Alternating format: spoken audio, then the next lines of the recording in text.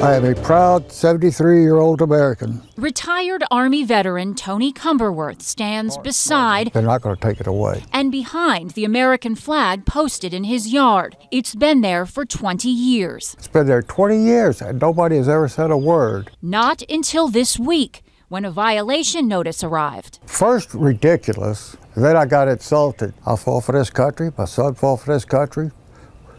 I do not understand them trying to take away my rights. The Weatherstone Homeowners Association told Cumberworth he had four days to remove his flag and pole, otherwise, he would be fined $50 a day. I'm not paying it. Cumberworth combed the bylaws and the covenant. Nowhere is there anything about a flag.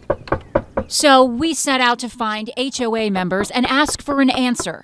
Some members weren't home to answer, others simply said they didn't have one. contacted by Mr. Cumberworth, who lives a few doors down. Okay. Um, are you aware that they've asked him to remove his flag?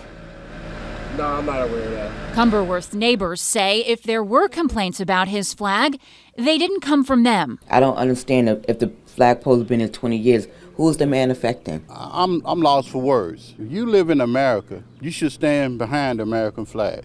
Which is just what Cumberworth says he's done in every home he's ever had. From California to Alabama, there's always been a flag in the yard, and he says Georgia will be no Uh, different. this is America. And nobody can tell me that I'm not allowed to show my patriotism. Shortly after we left the neighborhood, we received a call from Mr. Cumberworth. It seems while we were interviewing him, the HOA sent him an email reversing their position. It read, Please disregard the code violation notice. It was sent to your home in error. We truly thank you for your service in Vietnam, and your American flag can stay in your yard as long as you desire.